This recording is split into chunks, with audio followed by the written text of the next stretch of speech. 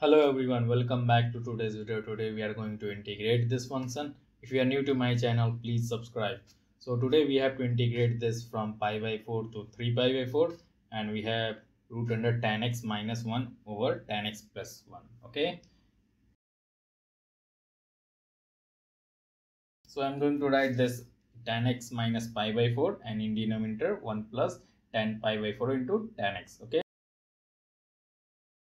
You know this formula of tan of a minus b equal to tan a minus tan b over 1 plus tan a into tan b. I'm going to use it. So our integral become i equal to integration pi by 4 to 3 pi by 4 root under tan of x minus pi by 4 dx.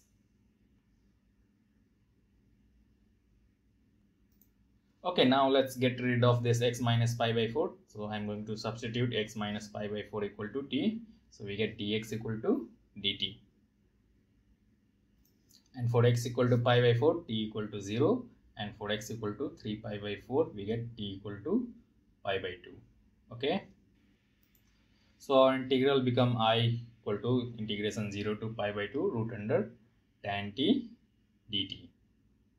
Okay. I'm going to use this definite integral property. Few people also call it King's rule. I don't know why. Using it, we get i equal to integration 0 to pi by 2 root under cot of t dt. Okay.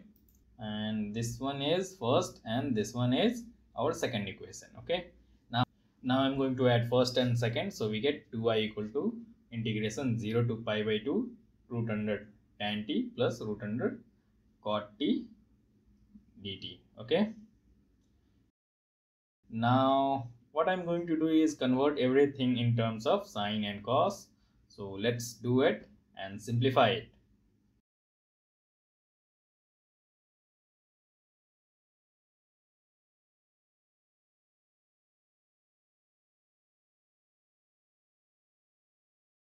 Now I'm going to substitute sine t minus cos t equal to m. So if you differentiate it, we get cos t plus sine t into dt equal to dm. Okay but we need to convert this sine t into cos t in terms of sine t minus cos t okay?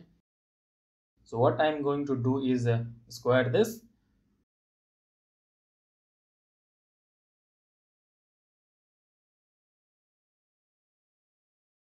So squaring it we get root under sine t into cos t equal to root under 1 minus m square by 2 okay? So we have converted this in terms of m.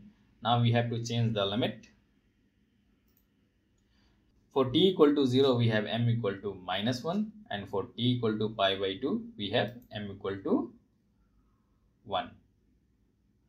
Okay, so we get 2i equal to integration minus 1 to 1 dm over root under 1 minus m square by 2. Okay, so antiderivative of root under 1 minus m square is sine inverse m. Now I'm going to put the limit